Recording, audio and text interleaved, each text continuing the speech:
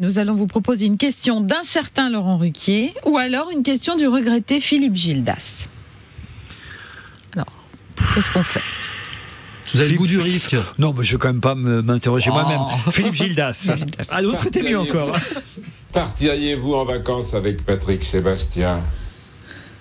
Oula, Ah, bonne question. tout est possible. Oui. Mais euh, a priori, non. Comme Mais, ça, là, non. pas mais je pense que lui il aurait, aurait encore moins envie que moi.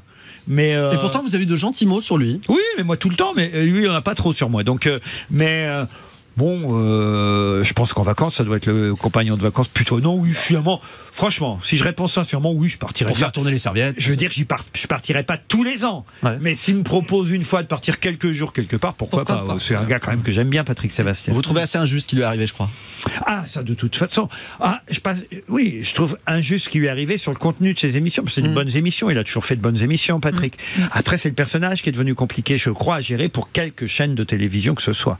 D'ailleurs, euh, pourquoi pas le recevoir dans les grosses têtes? Je lui ai proposé déjà Ouais. de venir aux grosses têtes. Il est venu d'ailleurs une fois. Il y a, depuis que je suis ici, euh, il est revenu parce qu'il était euh, grosse tête de Philippe Bouvard à une Ouais. époque, euh, Patrick. Et il est venu avec moi aussi euh, une fois ou deux déjà la première année. Et, euh, et là, mais là, mais là, il, je sais pas, il est fâché contre moi. Il est un peu fâché contre tout le monde. Oui, c'est ça. C'est aussi le, le climat qui fait qu'il est sans doute un petit peu tendu, puisqu'il n'a plus du tout d'émission à la télévision. On imagine que c'est pas très simple. pour lui.